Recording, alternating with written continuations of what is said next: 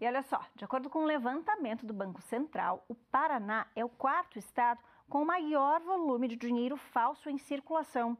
Para se ter uma ideia, só neste ano, mais de 9 mil cédulas falsas foram recolhidas aqui no estado. Mas você sabe como identificar uma nota falsa?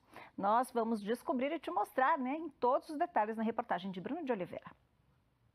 A Rosana é gerente de uma loja de cosméticos em Curitiba e no vai e vem de clientes tenta ficar esperta para não receber notas de dinheiro falsas. As meninas são bem treinadas, já trabalham há bastante tempo como caixa, então elas vão ali no alto relevo, elas vão na marca d'água, é mais no tato mesmo. E a gente tem a canetinha, né, que daí passa para ver, né, a cor da nota, né, para ver se se é papel normal, se é papel moeda, né. Mesmo não tendo acontecido com ela, a Rosana conhece casos de pessoas que foram vítimas de golpes. Em algumas outras lojas que eu já trabalhei, né, foi pego, né, porque é, eu vejo assim que é bastante visado em shopping, que é, tem muito fluxo, né, de pessoas diferentes, né, então é pessoas de outra cidade, então as pessoas ficam, né, tentando passar, né, e já vi também tentarem passar, mas não conseguirem, porque daí a pessoa ali na hora, né, é, vê que a nota é diferente, começa a falar, a pessoa acaba indo embora. O Banco Central informou que o Paraná é o quarto estado do país com a maior quantidade de cédulas falsificadas. De janeiro a setembro deste ano, foram mais de 9 mil ocorrências.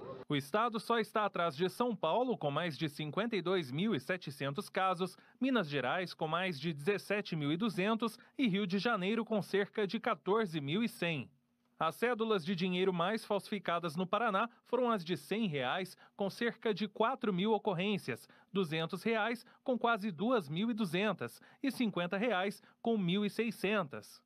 A Viviane é perita da Polícia Federal e explica quais os dispositivos de segurança existentes nas cédulas. A quantidade de itens que podem comprovar a legitimidade de uma nota é grande. Tem vários elementos de segurança que compõem uma nota autêntica que podem ser percebidos.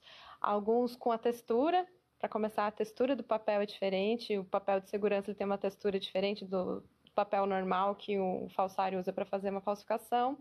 Tem vários elementos incorporados no papel, como a marca d'água e o fio de segurança, que são colocados no momento que é fabricado o papel, e tem elementos de segurança que são impressos colocados na cédula depois, como eh, as impressões em relevo, que são chamadas de calcografia, a faixa holográfica, no caso das cédulas de 100 e de 50 reais, o número que muda de cor, no caso das cédulas de 200, de 10 e de 20 reais, é, tem vários elementos de microletras, que com uma lupa você consegue ver várias microletras ao longo de toda a cédula.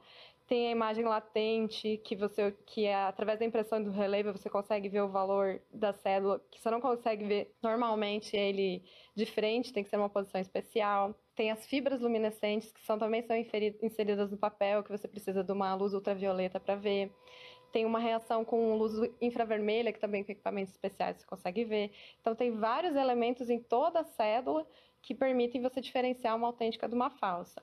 Os falsários, eles tentam simular esses elementos, mas eles não conseguem o acabamento e a qualidade desses elementos de segurança. No entanto, os criminosos tentam copiar ao máximo os elementos de uma cédula original e nem sempre alguns hábitos podem ser suficientes para evitar cair em um golpe. A caneta ela não é 100% confiável porque tem algumas técnicas de falsificação que já burlam essa caneta. Então ela tem que ser usada com muito cuidado, somada a outros elementos de segurança. A caneta sozinha não dá para confiar 100%. O jeito é seguir atento e saber agir caso receber alguma cédula falsa. Importante entregar essa cédula, pode ser entregue aqui na Polícia Federal também pode ser entregue na rede bancária, todos os bancos podem recolher cédula falsa.